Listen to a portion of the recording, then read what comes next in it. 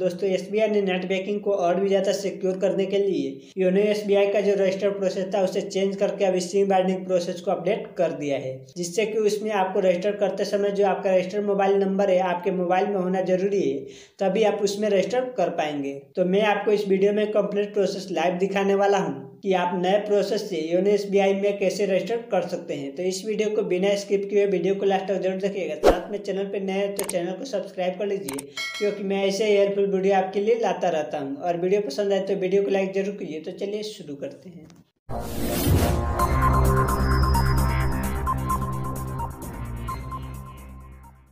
तो दोस्तों, सबसे पहले अपना गूगल प्ले स्टोर एप्लीकेशन है ओपन करके योनो एस के इस वाले एप्लीकेशन को आपको इंस्टॉल करके ओपन कर लेना है। ओपन करने के बाद से यहाँ पे आपको परमिशन मांग रहा है तो इसको आपको अलाउ कर लेना है। अलाउ करने के बाद से यहाँ से आपको दोबारा से परमिशन मांग रहा है तो इसको भी आपको अलाउ कर लेना है। अलाउ करने के बाद से यहाँ से सिलेक्ट सिम आ रहा है तो जिस भी सिम में आपका रजिस्टर्ड मोबाइल नंबर अवेलेबल है, उसको आपको सिलेक्ट कर लेना है।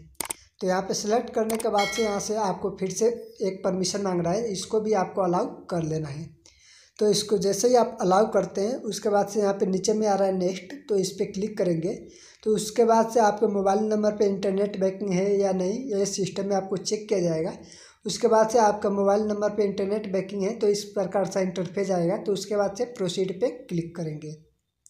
तो प्रोसीड पे क्लिक करने के बाद से यहाँ पे सबसे ऊपर में आ रहा है यूज़र नेम तो यहाँ से अपने इंटरनेट बैंकिंग का जो यूज़र नेम है इंटर कर लेंगे। उसके नीचे अपना जो पासवर्ड है, उसे इंटर कर लेंगे। उसके नीचे में या आएँगे तो यहाँ पे आपको नीचे में एक ऑप्शन आ रहा है सबमिट का। तो यहाँ पे सबमिट पे क्लिक करेंगे। तो जैसे ही आप सबमिट पे क्लिक करते हैं, उसके बाद से आपके रजिस्टर्ड नंबर पे एक ओ टी सेंड किया जाएगा। उस वाले ओटीपी को यहाँ पे आपको एंटर कर लेना है। तो मेरा यहाँ पे ओ टी आ चुका है तो मैं इसे इंटर कर लेता हूँ। उसके बाद से नेक्स्ट पे क्लिक करता हूँ। तो नेक्स्ट पे क्लिक करने के बाद से यहाँ से एम पिन क्रिएट करने का जो टर्म एंड कंडीशन है यहाँ पे आ चुका है। तो इसको आपको अच्छे तरीके से रीड कर लेना है। एम पिन जो होता है, अपना जो योनो एस एप्लीकेशन को जब भी आप ओपन करेंगे तो यहाँ से आप अपना एम पिन इंटर करके उसे डायरेक्टली लॉगिन कर लेंगे। तो इस वाले टर्म एंड कंडीशन को आपको रीड कर लेना है, उसके बाद से इस वाले बॉक्स को आपको टिक करके नेक्स्ट पे क्लिक कर लेना है। तो नेक्स्ट पे क्लिक करने के बाद से यहाँ पे आपको सिक्स डिजिट का एक एम पिन क्रिएट करने का ऑप्शन आ जाएगा, जिसमें आप तीन यूनिक नंबर कम से कम यूज़ करेंगे और को सीक्वेंस में आपका जो नंबर है नहीं होना चाहिए, जैसे एक, दो, तीन, चार, पाँच छः ऐसे को सीक्वेंस में आपका नंबर नहीं होना चाहिए। तो यहाँ पे आप कोई भी सिक्स डिजिट का एक एम पिन ये क्रिएट कर लेंगे और इंटर में उसी एम पिन को इंटर करके उसके बाद से नेक्स्ट करेंगे। तो नेक्स्ट करने के बाद से यहाँ से आ जाएगा congratulations you have successfully registered यानी आप सक्सेसफुली रजिस्टर कर चुके हैं तो उसके बाद से यहाँ पे ओके पे क्लिक करेंगे। तो जैसे ही आप ओके पे क्लिक करते हैं तो उसके बाद से योनो एस का एप्लीकेशन है, वहाँ पे आप लॉगिन कर जाएँगे।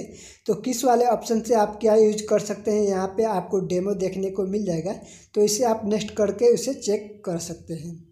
तो इस प्रकार से आप नए प्रोसेस से योनो एस एप्लीकेशन में आसानी से रजिस्टर्ड कर सकते हैं।